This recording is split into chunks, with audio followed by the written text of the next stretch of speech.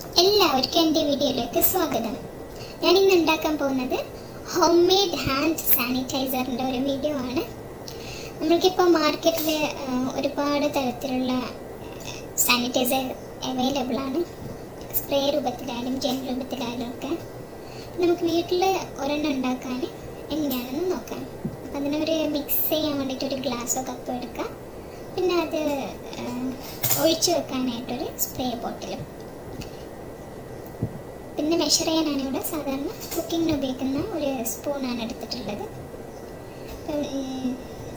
Isopropyl alcohol ആവശ്യമാണ് ഇതിന്. അപ്പോൾ അത് നയന്റി നയൻ പെർസെന്റേജ് ഉള്ള ഒരു ഐസോപ്രൊപ്പൈൽ ആൽക്കഹോളാണ് ഇവിടെ ഉപയോഗിച്ചിട്ടുള്ളത്.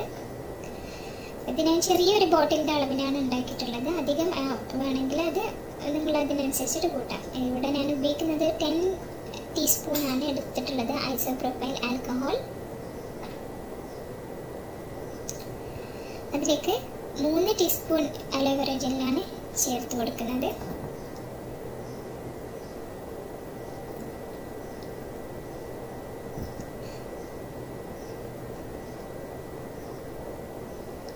പിന്നെ ഒരു സ്പൂൺ ടീസ്പൂൺ ലാവൻഡർ ഓയിൽ കൂടി അതിലേക്ക് എസെൻഷ്യൽ ഓയിൽ കൂടി ചേർക്കുന്നുണ്ട്. അതൊരു നല്ല സ്മെല്ല് കിട്ടാൻ വേണ്ടിയിട്ടാണ് ലാവൻഡർ ഓയിൽ ചേർത്തത്. അതിനുശേഷം നന്നായി മിക്സ് ചെയ്യുക പിന്നെ ഈ ആൽക്കഹോൾ നയന്റി നയൻ പെർസെന്റേജിലാണ് കാരണം അതിലേക്ക് വെള്ളം ആഡ് ചെയ്യുന്നുണ്ട്. വെള്ളം ആഡ് ചെയ്ത് കഴിഞ്ഞ് ഡൈലൂട്ട് ചെയ്തിട്ടാണ് നമ്മളത് ബോട്ടിലേക്ക് മാറ്റുന്നത്.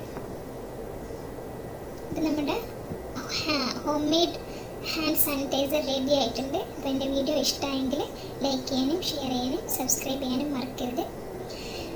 Thank you. Thank you for watching.